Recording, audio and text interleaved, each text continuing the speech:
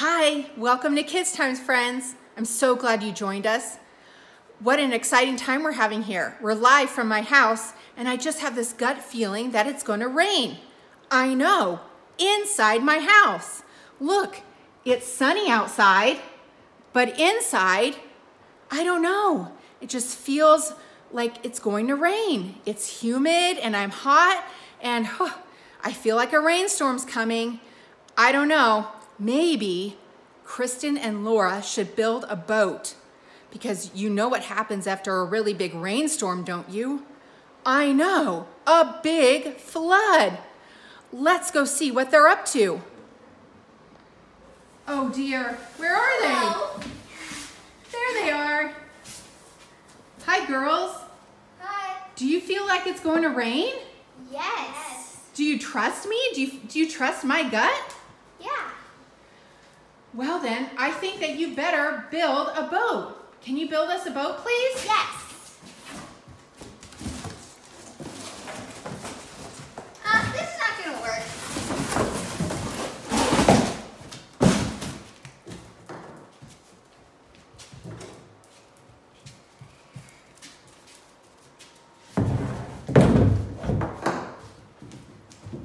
Let's get in. Let's get all the animals. What a great, what a great boat you have, girls. I love it. Much better than that cardboard you were using. Yes, yes. Come on, animals.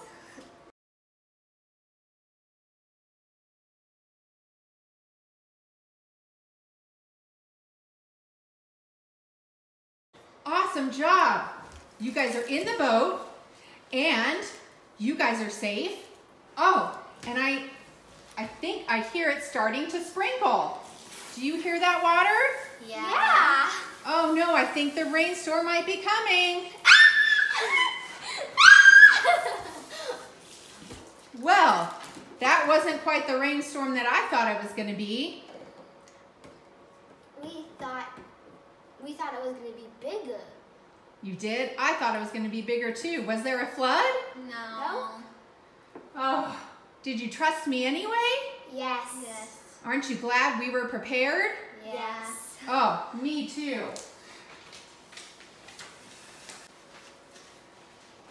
Hi, friends. Man, wow, wasn't that fun? Can you imagine that if it really rained inside your house? That would be so silly. Today we're talking about a new piece in our armor of God. I wonder if you can guess what it is. We'll take a look here. Did that story remind you of anybody, girls? Yeah, it reminds me of Noah and how he got on all his animals on the ark. That's right, Noah and the ark. And that comes from Genesis chapter 6, verse 11 through 14. Now the earth was corrupt in God's sight, and it was full of violence. God saw how corrupt the earth had become, for all the people on earth had corrupt in their ways. That means they were evil, friends. So God said to Noah, I'm going to put an end to all the people, for the earth is filled with violence because of them. I'm surely going to destroy both them and the earth.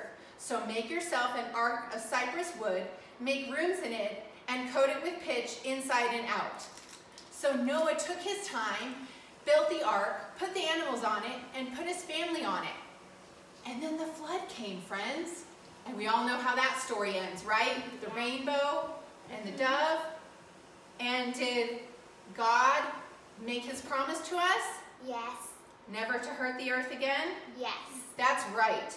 And now, how do you think that God, or that Noah trusted God? Um, he trusted God because he had faith. Oh, wow. What a great answer. What do you think, Kristen? Yeah, because he had faith in himself. That is right. And it tells us right here in our true word in the Bible exactly that. If you turn to Hebrews chapter 11, verse 7, it says, By faith, Noah, who warned about things not yet seen, in holy fear built an ark to save his family. By his faith, he condemned the world to become heir of the righteousness that comes by faith. Girls, do you have faith? Yes. Yes. Yes. Who did you have faith in? God and God. Jesus. That's right. And where do you get this faith from? Um, from from up above. That's right, from up above. And who protects that faith? Um, Jesus and God. That's right. Do you pray to Jesus? Uh huh. Yeah. Yeah, and he protects you, Mhm. and the Holy Spirit lives in you. That's right. Remember, friends, we're working in the book of Ephesians right now. And in chapter 6, verse 10 through 12, we're putting on our armor of God. And today, if you looked at your armor of God sheet, you would remember that we're talking about faith. Which one of these has faith in it? Shield of the shield of The faith. shield of faith. That's right. Friends, put up your hand like a stop sign. Stop.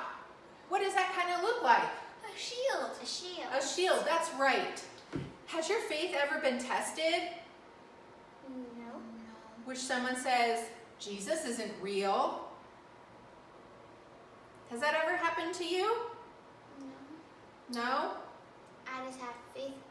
I just have faith in myself to believe that they they think it is real, but they actually don't. Okay. And has your faith, have you ever doubted your faith? No. Well, that's good. You have strong faith.